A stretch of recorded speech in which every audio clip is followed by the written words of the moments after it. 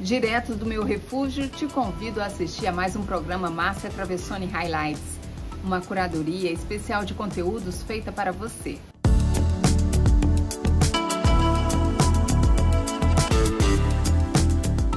Aqui você fica por dentro dos assuntos que foram destaques no Ceará, no Brasil e no mundo e também na nossa plataforma. Quem nos acompanha aqui sabe que é recorrente mostrarmos sempre mulheres inspiradoras e empreendedoras e também darmos força a essa corrente feminista.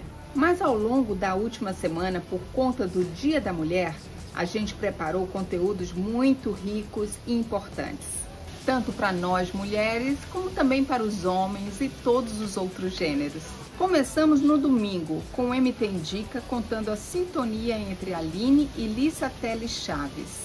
Elas são mãe e filha e contam como se inspiram uma na outra. Ser mulher é algo plural, não dá para definir em uma só palavra ou conceito. Então, nossa equipe definiu seis termos que traduz a essência feminina. E convidamos seis mulheres para definir cada um deles. Eu falei de amor, Rafaela Otoshi falou de cuidado, Duda Riedel definiu sororidade, Imaculada Gordiano falou sobre empoderamento, Yara Canta conversou sobre beleza e encerrando a série, Cristiane Leitão falou de cuidado. Quer ver todas essas entrevistas e definições? Está tudo no site MT. Você já ouviu falar da cacique pequena? Também no nosso site você pode encontrar uma breve história sobre ela. Ela é cearense e é a primeira mulher cacique do Brasil.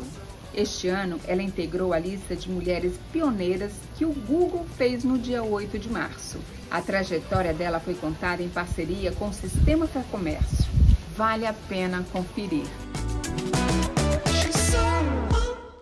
Está buscando livros novos para ler? Atenção que tenho ótimas dicas para você. Já confere a lista que a gente fez com cinco obras feitas por mulheres e que falam de mulheres.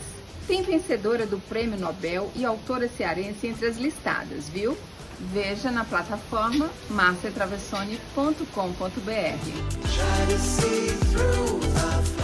E a gente encerra o giro de hoje com uma ação solidária. A Associação Anjo Rafael e o grupo Bacuras Solidário estão à frente da campanha que visa comprar 100 capacetes Elmo. Esse equipamento é um respirador não invasivo que foi desenvolvido no Ceará e ajuda muito no tratamento de pacientes com Covid-19.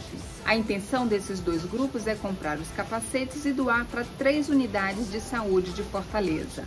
No site MT você vê como ajudar essa campanha e fica sabendo quais são os hospitais beneficiados. Gostou do programa MT Highlights de hoje? Então compartilhe e se inscreve lá no canal MT. Até semana que vem, um beijo grande, fiquem com Deus e hashtag vai dar certo.